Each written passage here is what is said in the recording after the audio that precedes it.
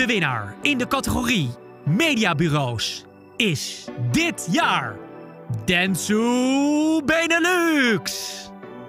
Adformatie en Ipsos feliciteren alle winnaars van harte. Een geweldige prestatie. Op naar een nieuw, mooi mediajaar.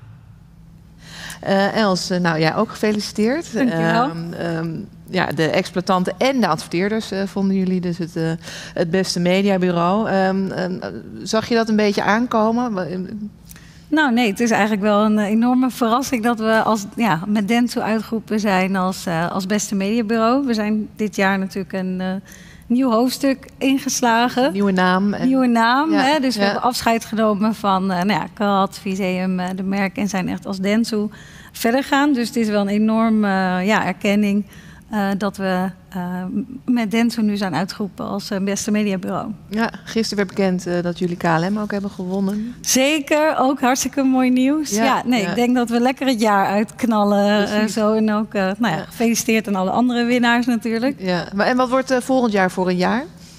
Uh, ik denk een, een heel mooi jaar. Een, uh, een jaar waarin, uh, nou ja, vandaag hoorden we het ook al, creatie wordt natuurlijk nog belangrijker.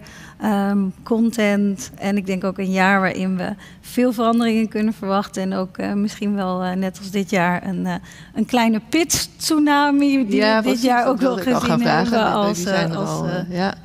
ja. ja, precies. Oké. Okay. En gaat dit helpen?